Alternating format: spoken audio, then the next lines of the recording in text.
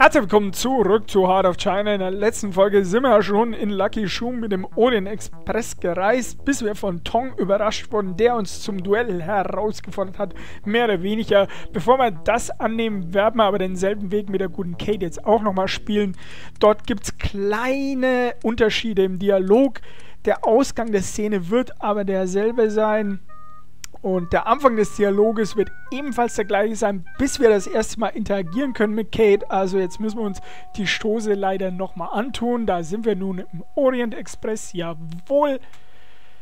Nein, der gute Lucky reist zum ersten Mal mit der Bahn. Den Vater lassen wir per Telegramm über uns Bescheid wissen. Genau.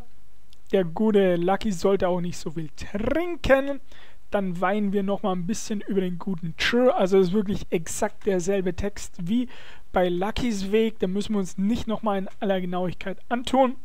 Jetzt wird auch gleich wieder das Thema Nabobs Tochter angesprochen. Lang dauert es nimmer.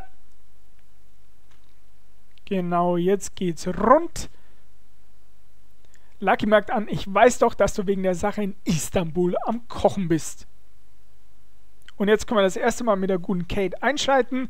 Nein, im Moment ist mir das eigentlich egal. Sagen Sie mir, Herr Masters, war es das wert oder ah ja? Und warum sollte ich kochen, Herr Masters? Äh, wir werden mal Antwort 2 nehmen. Der gute Lucky kann sich ruhig mal ein bisschen rechtfertigen. Was? Hast du dich gut mit der Tochter des Nabobs amüsiert? Ja, ich meine, wir haben uns beide gut amüsiert. Wahrscheinlich war es ja ein Fehler, aber das sehe ich jetzt schon ein, aber in solchen Situationen sehe ich immer zu, dass alle Beteiligten ihren Spaß haben. Verstehst du, Puppe?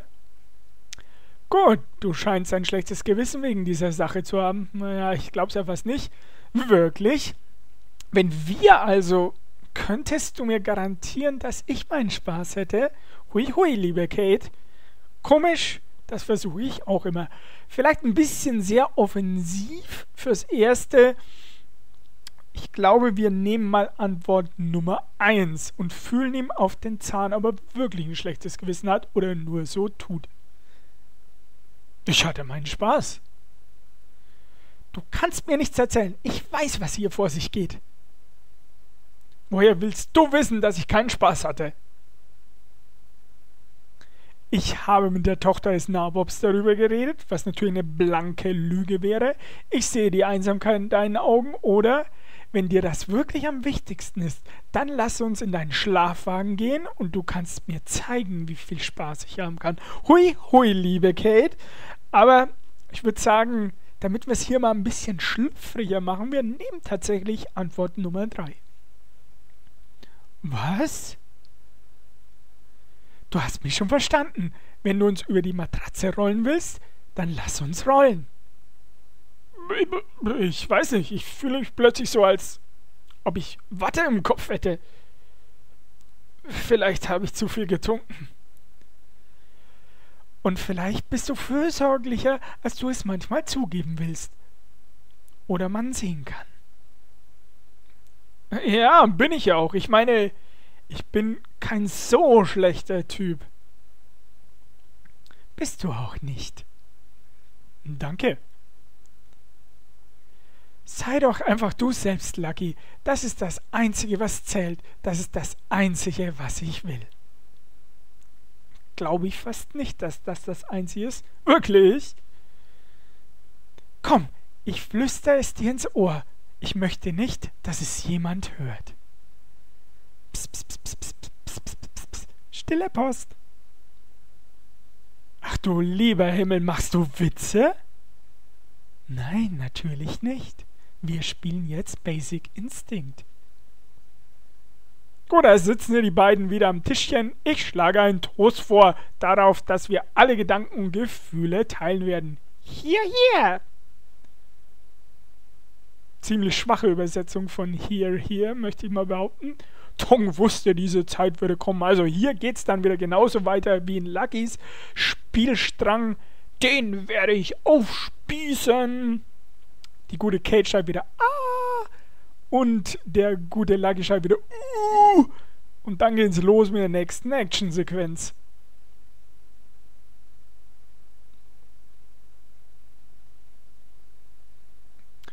Und in dieser Actionsequenz in der letzten Spiels glücklicherweise geht es darum, dass wir oben auf den Waggon stehen und uns einen Schwerkampf mit dem guten Tong äh, leisten. Da müssen wir natürlich als Gewinner hervorgehen. Hab das schon zwei, Mal probiert und ich habe keine Ahnung, wie man das macht. Aber ich schaffe es immer wieder durch plumpes Buttongemäsche das Ding zu schaffen, indem ich einfach nur auf Angreifen klicke, wie ein wahnsinniger Irrer. Deswegen versuche ich es, es einfach jetzt nochmal und hoffe, dass es nochmal funktioniert. Ich mache jetzt einfach mal spielen. Unser Spielziel ist es quasi, Tong ganz an den linken Rand zu drängen. Äh, wollen wir abspeichern? Ja, komm, speichern wir mal schnell ab. Okay. Unter Action. Gut, dann trash ich mal drauf. Also da unten seht ihr, wir haben die Wahl zwischen Ducken, Ausruhen, Zurückweichen. Also ich habe keine Ahnung, wie genau das so richtig funktioniert.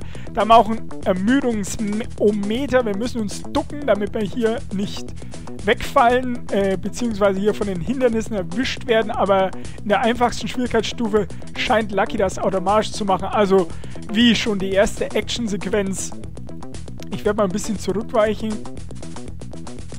wie schon die erste Actionsequenz ist das absolut fehl am Platz in diesem Spiel und überflüssig. Da haben wir schon geschafft. Der gute Tong ist auf dem letzten Waggon. Lucky, pass auf! Oh nein! Die Kupplung! Also löst sich der letzte Waggon. Die Kupplung löst sich! Da wo Tong und Lucky drauf sind. Oh! Hilfe! Und Lucky wagt den Sprung. Geronimo! Auf geht's! Oh! Uh! Also da geht's schon los mit dem Liebesspiel. Zärtlich von hinten. Kalt! Der gute Tong ist erledigt und explodiert am Horizont. Und da ist das Happy End. Wow.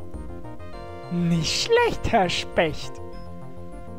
Also, Lucky und Kate haben es endlich geschafft, Sie sind in Paris angekommen.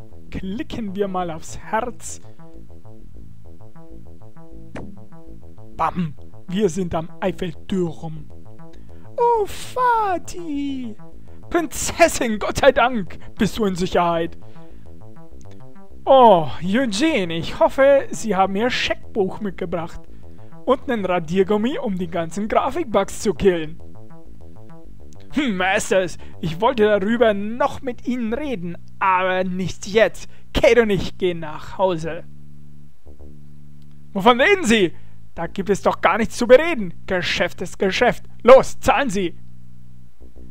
Ich werde jetzt nicht zahlen, Masters. Und was unsere Vereinbarung angeht, wir werden über gewisse Angleichungen später diskutieren. Vater, du wirst meinen zukünftigen Mann nicht so wie deine Kunden behandeln. Das lasse ich einfach nicht zu. Zukünftiger Mann? Masters? Du wirst diesen Mann nicht heiraten. Ich werde schon ganz grün und blau vor Ärger. Siehe Grafik oben. Ich tu, was ich will, damit du es weißt. Komm, Lucky, gehen wir. Ja, okay. Vielen Dank für das, was du gesagt hast. Du kannst mir später danken, okay? Zwinker, zwinker. Kate, ich habe es nicht so gemeint. Können wir nicht darüber reden? Ich werde Luckys Scheck sofort morgen früh ausstellen lassen. Später.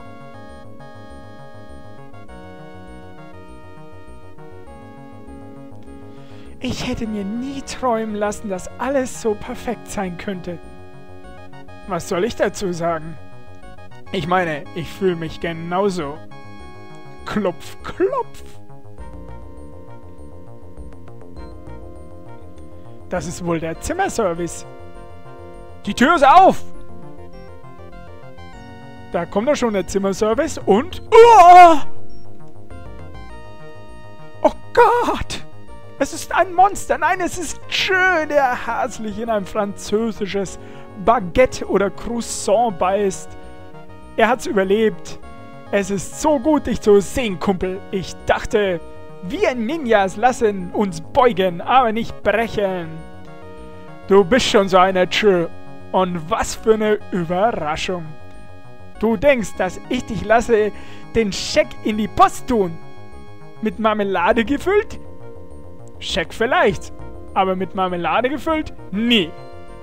Auf gute Freunde und viel Glück. Da hast du recht, Partner. Also den Witz mit dem Scheck und der Marmelade habe ich nicht ganz verstanden, aber das war's. Das war Heart of China mit einem schleimigen Happy End. Lomax hat sich ordentlich geärgert. Kate und der gute Lucky werden die heilige Ehe in Paris eingehen und der gute Joe wird für ewig ein drittes Rad am Wagen sein. Aber Hauptsache immer gute Miene zum bösen Spiel. Jo, Zeit für mich, mich zu verabschieden. Danke, dass ihr auf diesem Abenteuer quer über die ganze Welt dabei wart. Wir haben angefangen in Hongkong, über Chengdu nach Nepal, Istanbul und schließlich sind wir in Paris angekommen. Ich sage ciao, ciao, bis zum nächsten Adventure. Bis zum nächsten Mal.